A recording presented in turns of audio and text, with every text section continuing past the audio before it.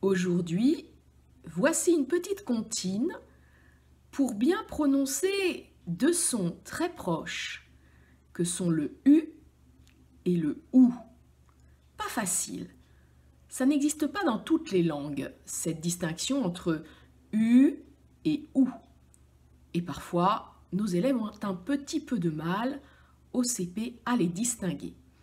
Alors, avant d'apprendre la comptine, d'abord un petit truc, ou plus exactement une explication. Vous allez voir, c'est assez subtil.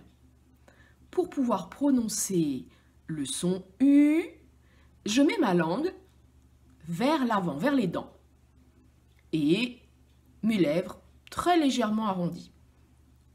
U. Pour prononcer le son OU, je vais arrondir comme pour la lettre O, mes lèvres, mais ça ne suffit pas. Il faut que ma langue se rétracte à l'intérieur de ma bouche et qu'elle aille vers le fond. OU, OU, U, OU. Vous pouvez faire le petit exercice aux enfants plusieurs fois. Je vous mettrai les schémas sur le NT. Vous les retrouverez aussi dans les classeurs de la maison.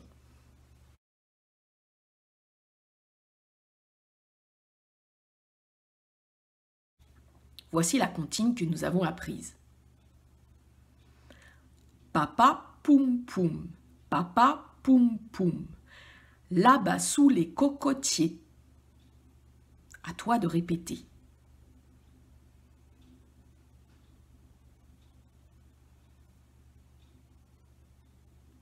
Papa poum poum, papa poum poum. Les papous sont réunis.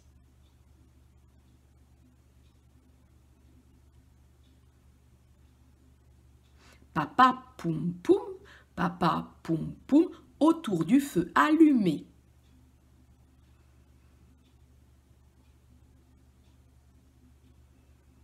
Papa poum poum, papa poum poum, pour danser toute la nuit.